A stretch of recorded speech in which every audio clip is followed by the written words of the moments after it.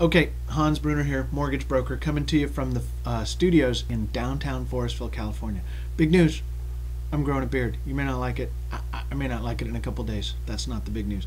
Here, I'm here to answer the question Is now a good time to buy a home? And the underlying question there is what people are really asking is have we hit bottom? Is it the lowest that I can possibly get on that on that house? Uh, is, are the rates the lowest that we can possibly get on that house? The reality is, who knows? I don't know. Your realtor doesn't know, the economist doesn't know, your brother doesn't know. So, uh, who knows? Um, rates are really good. Conforming rates are in you know 5.5 to 5.75 percent range. Jumbo loans are in the 6.375 percent range for 30-year fixed. Rates are great. Um, so rates are great. Real estate values have gone down. Great time to buy a house.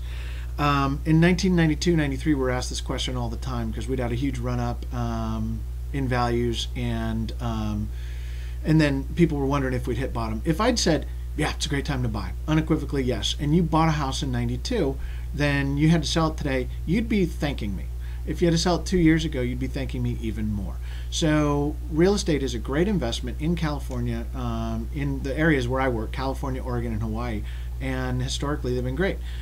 So um, here's here's a here, here's the deal. Mainstream media is saying to you, it's a horrible time. Um, you know, the sky's falling, everything's terrible. Don't sell your house. Well, there are people that need to sell their house. They just had triplets. They need to move. Uh, they had a death in the family, they need to move. They're getting divorced, they need to move. They're getting relocated, they need to move. There are people that need to sell their homes. There are homes for sale on the market. It's getting less and less where it's flooded on the market. Um, and the people who weren't realistic and weren't priced well are gone.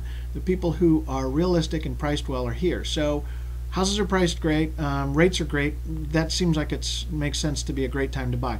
If you want to make a ton of money in the next year or two, yeah, maybe not so much. So you kind of have to ask yourself the questions um, for the answers to get the answers.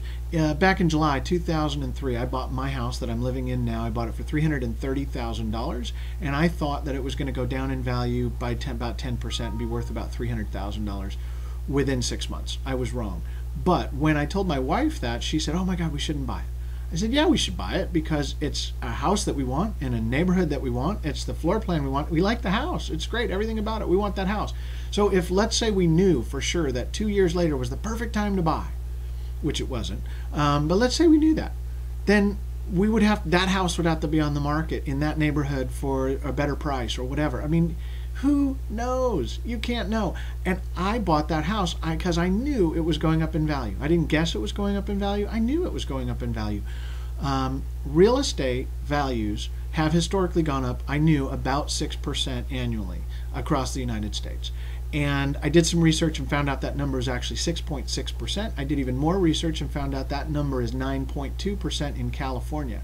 Um, from the first quarter of 1976 through the third quarter of 2007, the number in California is 9.2% annual appreciation. Um, now, it is not, um, it is not a perfect number. You know, you can't go, hey, it's going to go up 6.6% next year or 9.2%. It's not a perfect number. It is like a yo-yo on an up escalator. Got that yo-yo on an up escalator. yeah. Um, so that's the way it works. And um, so bottom line is to the question is, uh, you know, is now a good time to buy a house? Don't ask your realtor. Don't ask your mortgage broker. Don't ask your brother. Don't ask your neighbor. For heaven's sakes, don't ask an economist. Ask yourself. Ask. You know the questions. You need to look inside and ask yourself and come up with the answers. And if you feel somebody's going to benefit from my services um, in California, Oregon, and Hawaii, have them contact me, um, forward them this video. Have a swell